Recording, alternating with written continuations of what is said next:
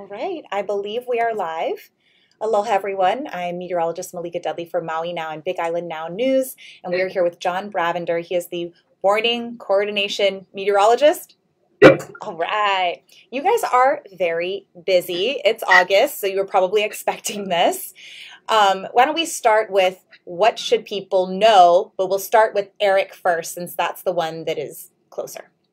Sure, Erick. Um, the, the, the first uh, tropical cyclone we had of the season.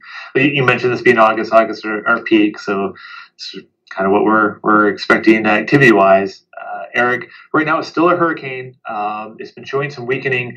It, at one point, it was a Category Four hurricane, well southeast of the state. Uh, it's been going through a steady weakening over the past day or two. Uh, right now, a Category One hurricane. That weakening trend is expected to continue. So as it passes south of the state, uh, weakening to a tropical storm, and then once to the southwest, down to a tropical depression, and eventually remnant low. The track and intensity forecasts have been pretty right on this whole time, um, which has been great to see. You know, I know technology just gets better every year, right? Um, so, what is your your impression of how the forecasting for this has gone? Oh, that's true. Um, the the intensity, especially when it went through the rapid intensification uh, earlier this week, that was uh, a very very fast and um, um, jumped up uh, stronger than we were expecting. But the, the, the, weakening trend, as it encounters the stronger wind shear, um, that's uh, on, on, schedule, which we, we like to see as well. Mm-hmm. And the consistent motion that it's been taking, mm-hmm. moving to west or west northwest, yep. um, and then passing south of the island. The, the confidence in that track forecast is, is what allowed us to say um, feel confident that we had a tropical storm warning for our southern coastal waters, hurricane warning for offshore waters, but not over land. So we never put Hawaii County into say a tropical storm watch. Um, even though there are impacts that are, are expected to be felt, including heavy rain and, and, and surf that they're seeing now. Right. Yeah, so let's go through those. We've got a high surf warning, um, 15 to 20 foot phase is expected for the mm-hmm. east side of the Big Island possible shadowing from Big Island, so the other islands not yet under a high surf advisory. Are we expecting that? Uh, not right now. Uh, we're, we're, we're, we're, keeping the, the surf uh, forecast just below advisory levels, but it, it's, it's borderline right there. So uh, if it's going to, one way or another, uh, having uh, an advisory for east facing shores wouldn't be un- unusual or unexpected. We're, we're not anticipating it right now, but it's a, a possibility. Right. Let's go to winds. So we're looking at tropical storm force winds, which extend, I think, about 105 miles from the center, if I remember correctly. Um, so if the center of the system is passing, let's say, 200 miles to the south, we're not in that window, which is great, um, but we're looking at a wind advisory. So 25 to 35 mile per hour winds, gusting to 45. Where can we see localized um, gustier winds? That's right. Um, as you mentioned, we're, we're outside the, the main wind radius with the, with the tropical storm force winds, but between the between Erick and the high pressure off to our northeast, really tight gradient leading to those stronger winds. Uh, so Maui County and Hawaii County is under uh, wind advisory, as you mentioned. Um, almost like an enhanced trade wind type uh, pattern. So the, the typically windier areas that we see during trade winds, um, South Point area on the Big Island, uh, over and downwind of the Kohala Range on the Big Island, through the, the Central Plains on Maui, mm-hmm. um, into, into Lanai, um, through through the, the channels there. Um, th- those areas are, are the ones that will be most impacted by the strongest winds, and also wind advisories for Maui County and Hawaii counties, uh, but also uh, Oahu and Kauai could see gusty winds, just not quite as strong as in the east. You know, we've got um, the, the, TMT issue over on the Big Island. A lot of people are camped out at Pu'uhuluhulu. Um, what can you tell me for for them as far as winds and rain goes? A lot of people have been asking me. Sure. Yeah, through the through the saddle area, in the Big Island. Uh, have, winds so far haven't been quite as strong as they are in those normally funneled areas. Mm-hmm. But as Erick passes by and the wind starts to turn um, more easterly or southeasterly, could, could, get some more funneling through the saddle and get the stronger winds um, tonight, um, increasing through the day today. I think there are a couple wind gauges that we have through the area are running near 20 miles an hour. So uh, maybe picking up, up a bit more uh, this evening and uh, during the overnight hours. Mm-hmm. And what about rainfall? Uh, rainfall, true uh, as well. Um, normally mainly focused along the east and southeast sections where the, where the winds are blowing inshore. But because this is a very moist uh, tropical air mass, there, there's no inversion. There's nothing to stop the, the shower, the height of the showers. So those will be building up through the, the summit as well, and we could be seeing some some rainfall through the the saddle area uh, as well to impact the, the the folks that are outside. Okay, yeah, you know, uh, it's not every day that we have that many people outdoors with tents, with, you know, so we want to make sure that um, all of our residents are safe. For those rest of our residents throughout the islands, um, we're looking at the east sides mainly being impacted, majority of rainfall for the eastern end of the state. Can you kind of take me through the islands of what you expect and the timing for the rainfall? Sure. Oh, sure. Um, yeah, starting off, um, with, with, Erick passing closest, uh, it looks like uh, um, Hawaii Island will, will bear the um, the brunt of the impacts. Um, you mentioned the surf. There, uh, we're seeing high surf now, um, blocking some of the, the, the rest of the state.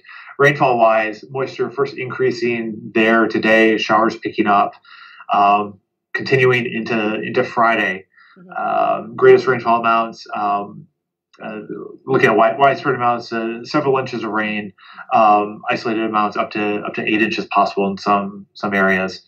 Um, going further away, uh, a couple inches possible for Maui Island. Um, they're they're the next more exposed, like East Maui, uh, Hana area. Uh, more tonight into into Friday, and across the rest of the state. Uh, not as heavy rain expected. Uh, still could have some heavy showers. Focus mainly windward sections uh, with with those uh, trade winds focusing things on where where it normally rains.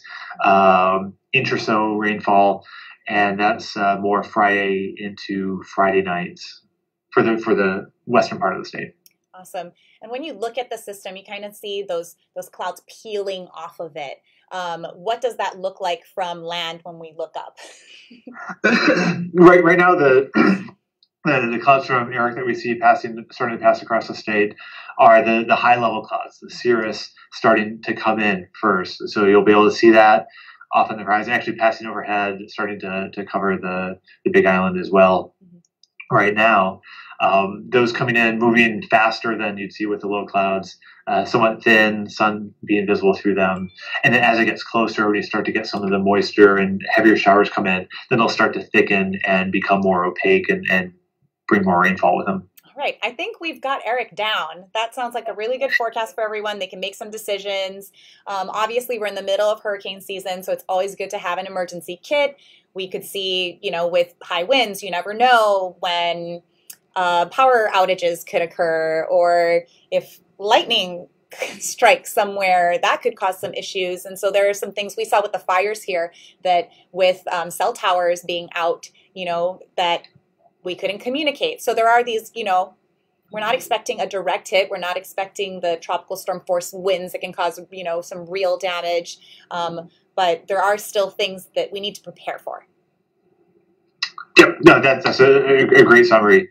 Even with the uh, um, essentially being out with, with, the strong winds that we have now, being outside of the, the main circulation from from Erick um, could have uh, sporadic power outages. Could have sporadic damage um, with, with, with the winds that we're seeing right now. Mm-hmm.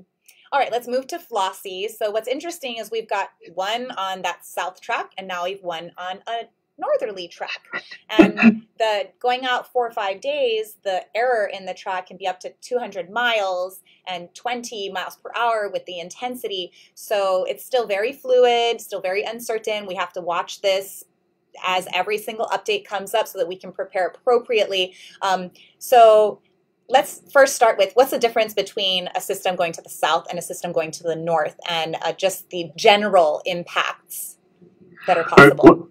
Sure. Um, one, one of the, the big things, uh, well, anytime um, with, within a, a, hurricane or a tropical cyclone, the, the most damaging areas and the biggest impact are what we call the right front quadrant as it's moving along a line, that uh, front right area is where, as it's rotating, um, the tropical cyclones in the northern hemisphere will spin anti-cyclone um, counterclockwise. Mm-hmm. Um, and the winds would be added to the storm motion as well to get more damage uh, from the winds from in that part of the, of the cyclone, and also any waves building up with that as well. Um, so there's a lot going on in that section. And had with with Erick's track south of us, if that had been a little farther north, a couple hundred miles north, then that would bring that into the state and have more damage impacts from that. Mm-hmm. Um, if Flossie were to pass north of us and put us on the far side, then there, there's um, not as many uh, impacts. The, the wind is a little bit less on that on that south side, and uh, um, surf not quite as as much as well.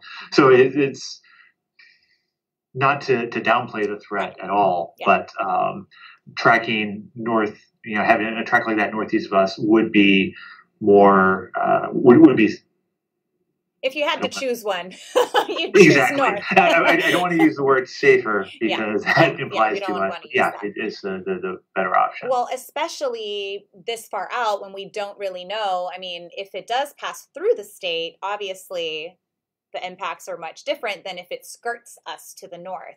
So, what are mm-hmm. what is your take on it now with it being about?